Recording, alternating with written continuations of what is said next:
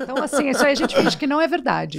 Nossa, que maravilhosa. Eu, sabe o que eu queria saber um pouquinho lá do seu começo, que você falou do nariz. Aquela época a mídia era muito cruel. Que hoje em dia a gente. Você acha tem... que hoje não é? Eu acho que hoje, hoje em tá dia as pessoas são cruéis, mas ela hoje tem muito mais gente ali, a gente tem voz ativa. Porque antes tem como as, se defender as, as pessoas né? falavam de você, você não tinha uma rede social para você desmentir. Não, é você não tinha uma voz, ati uma voz ativa é verdade, pra poder... a crueldade continua. Cruen... É, mas hoje você pode se defender. Mas hoje você pega a sua rede social, você pega lá seu espacinho e fala tudo que você acha e bota. Uhum. É verdade. Isso aí é verdade. Naquela época, quando você tomava uma porrada, você tinha que esperar ou a revista sair de novo na uhum. semana seguinte, ou o jornal sair de novo, e aí o espaço que você tinha para se defender era sempre muito menor do que o espaço da porrada que você tinha levado. O que, que, vendia mais? Claro, o que, que vendia continua vendendo. O que, que dá mais é. clique? A porradona. A, separação ou o casamento? O que, que dá mais clique? Amor? Não, sim. isso não mudou, isso não mudou. A diferença é a velocidade. A diferença agora é que realmente a gente tem o espaço para imediatamente retrucar se a gente achar necessário. Eu, como sou dessa geração que não tinha, eu não tenho muito esse hábito de pegar eu acho de pegar e começar a chorar na minha rede social, ou ficar puta na minha rede social, re... e não é muito do, do meu jeito, sabe? Assim, uhum. eu fico um pouco é, eu acho que isso, às vezes, eu fico um pouco envergonhada. Não sei porquê. É difícil sentir vergonha, mas essa coisa de começar a chorar na rede social é uma coisa que eu ainda não consegui, não, não, não passei dessa porta eu também, ainda. Eu não cheguei Eu tenho vergonha de ver, eu tenho vergonha eu de ver pessoa é. chorando. Então, mas acontece muito, né, amigo? Como é que eu falo, como é que ela fez? Ela estava chorando antes, ela começou a chorar depois. Então, eu fico pensando também. nisso. Aí eu falo, quando eu tô chorando, eu nem penso no meu celular. Eu tô com tanta raiva, eu tô chorando de raiva, ou tô chorando de tristeza, eu não tô pensando em ligar o celular para, sabe? Não é uma coisa normal para mim. Então, ah. isso eu não passei dessa barreira. Então, eu uhum. ainda tô na, na, fase um pouquinho antes. E nessa época que, que você era, eu digo cruel assim, as pessoas chegavam na sua cara, igual você disse, falavam do seu nariz, que você tinha que mudar uma medida. Hoje em dia, é tudo mais um jogo de. Às vezes as pessoas falam, elas querem dar uma, uma, uma mensagem, mas elas têm um jogo de cintura para poder falar aquilo. Uhum. E aí, como que você lidava? Porque assim, ó, você continuou intacto, você, você não entrou na pressão das agências de modelo. Não. Como que era ali? Não botei o tal do silicone. Não mudou nariz. Tanto, não, não mudou nariz. Eu aprendi cedo com a minha mãe, né? Eu venho de uma família bem pobre, mas que nunca faltou relação de educação, admiração, respeito. Isso tinha muito. E, e, minha mãe, ela era muito brava, ela segue brava, ela tem cara de boazinha, ela é canceriana, mãezona, uhum. abriu mão da vida dela para cuidar dos filhos, né, de mim e do meu irmão, mas ela era brava, muito brava. E eu lembro como se fosse hoje, logo no começo da escola, eu, eu cheguei em casa chorando de bullying, de criança, porque criança faz bullying mesmo. Naquela época não era bullying que falava, mas me sacaneavam. E aí eu lembro que sacanearam o meu nariz. É, e, e, assim, eu era meio gordinha, assim, para os padrões da época. Uhum. E aí eu fui sacaneada logo no pré-primário. Eu cheguei chorando e minha mãe olhou para mim e falou: Bom, então agora você quer motivo para chorar, eu vou te dar. E aí piorou a minha situação, porque minha mãe, eu sou da época, eu apanhei, né, gente? Não tem essa. Voava drone na minha casa, já acontecia, porque era havaiana, pá, pra lá, pá, pra cá, voava cinzeiro, Espada voava São qualquer. Jorge. Era pra tudo que é lado, o drone bombava em casa. E aí eu, eu ficava com medo dela, porque ela falou: Deixa eu te ensinar. Eu lembro que é como se fosse hoje. Ela falou: Olha, senta aqui.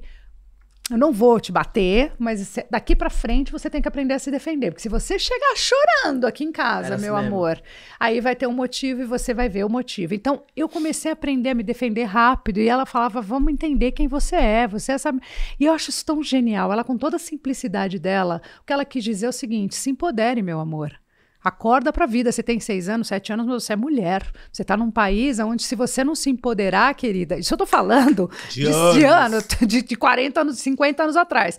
Se você não se empoderar, meu amor, você está na roça, literalmente, entendeu? Então, é verdade. Então, ela de cedo me deu, um, me deu uma vontade de gostar de mim, logo cedo, graças à minha mãe, que, no meio da simplicidade dela, fez isso. Ela não fez provavelmente isso pensando nisso. Ela fez talvez para eu aprender a me defender, né? Mas deu tão certo que eu faço isso com o meu filho, sabia? O Vitório é um menino que se entende. Eu falo para ele desde sempre, para ele gostar do jeito que ele é, para ele entender o jeito dele, para ele conhecer os defeitos dele, porque a melhor forma da gente se gostar é a gente entender os nossos defeitos. Uhum. Tem defeitos que a gente pode melhorar, tem defeitos que podem sumir e tem defeitos que não vão sair. Essa e, é essência, né? E, e, esses defeitos que não vão sair, que só vão se aprimorar com a idade, dizia um amigo meu, que ficar velho não é, é você aprimora os defeitos. Tem defeitos que são assim, da nossa característica. Isso não significa que a gente não pode melhorar, mas tem uns aí que parece que entortam. Então você tem que lidar com eles. É um jeito de lidar. E eu aprendi muito cedo.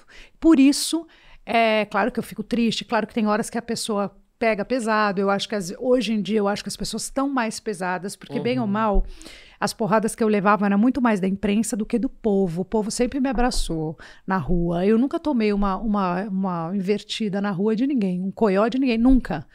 Mas acho que a rede social te deixa um pouco poderoso para fazer isso, sabe? Uhum. Ela te uhum. esconde, você se esconde atrás de um avatar, de um perfil falso, de um hater, qualquer coisa, e você vai lá e fala tudo que você pensa e mete o dedo só para sacanear alguém, única e exclusivamente por isso. Então, de vez em quando, eu acho que as pessoas perdem um pouco a linha de verdade e mexe. Te pega um pouco fragilizado, às vezes mexe. Às vezes uhum. não, mas às vezes mexe. E quando mexe, eu, ah, quando eu tô fazendo o número dois, falou, já vou brigar.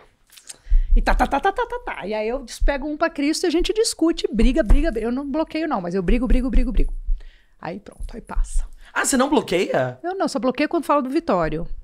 Falou de mim para falar o que quiser. Eu deixo tudo lá, porque aí o que acontece? Os meus fãs também vão brigando, vão se defendendo. Aí, vai, vai aí a coisa vai tomando uma proporção maior, eu vou ganhando seguidor, acho bom.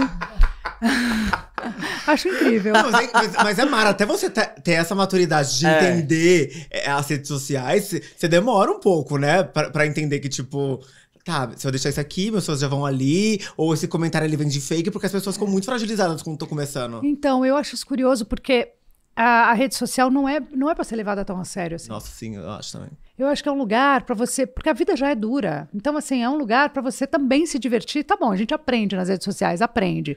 Tem coisas que a gente melhora com as redes sociais, mas de uma maneira geral, não é ali, né, para você se levar tão a sério. Eu acho que você pode ter mais humor. Eu levo as coisas, eu olho para as redes sociais desse jeito, com mais humor. E se você olhar todo mundo que eu sigo, a maioria é de humor. Eu não, eu não vou procurar assunto muito sério ali. O assunto muito sério talvez eu procure em outro lugar. Apesar que hoje em dia mudou um pouco o perfil. Hoje a gente tem possibilidades de procurar coisas, assuntos sérios, mas até bem pouco tempo atrás, não. Era então, só na TV, né? É, então agora eu procuro, eu, eu sigo os humoristas, eu, eu gosto dos cortes engraçados, eu, eu, eu, pra mim é mais leve as redes sociais, é assim que eu vejo. Tinha que ser, né? E tem que ser. É igual isso que você falou. Ninguém. Vou te falar uma coisa. alguém me falou isso uma vez e faz muito sentido. Nenhum hater que vai te xingar nas suas redes sociais vai chegar na sua cara no meio da rua e vai falar tudo que digita ali. Claro que não. Alguém já, já te falou na rua e te xingou? Bobear, o hater anda do meu lado, né, pois amor? É. Vai, vai saber se não, entendeu? Aquela que tá aqui que tá louco pra te jogar na cara e não tem coragem. eu já fake, sou né? o hater em pessoa, porque eu sou aquela que pá. Entendeu? Então não preciso nem me esconder, eu sou aquela que vai.